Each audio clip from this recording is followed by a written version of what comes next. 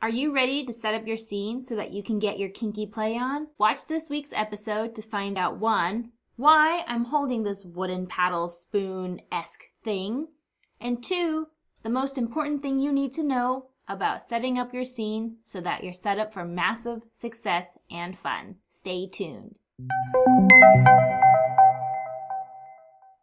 Hello and welcome to this week's episode. My name is Veronica Jans and I'm the founder of Desires Laid Bare, a monthly kink and BDSM membership site for beginners. So let's get to talking about setting up your scene. So, the most important thing you have to know about setting up your scene is not what you think. Sure, we're going to talk about safe words, negotiations, hard limits, soft limits, and all that fun stuff, but not today. While those are all important, it's not the most important thing. Actually, the most important thing I'm going to talk to you about happens way before those things. The most important thing that you should know when setting up a scene is that you have the power. Say what?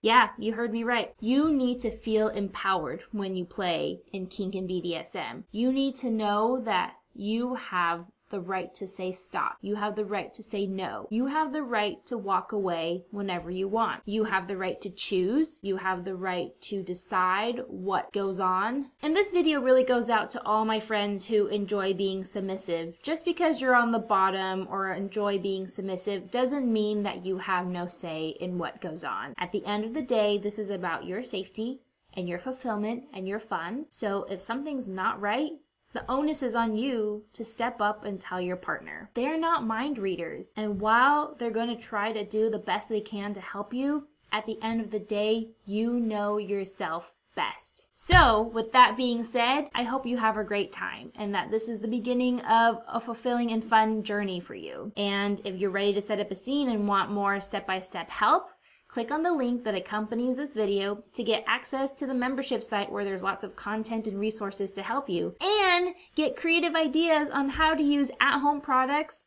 to help you on your kink journey. Just make sure you wash them thoroughly if you're going to use them again for actual cooking and whatnot. Have fun, stay kinky, and I'll see you next time.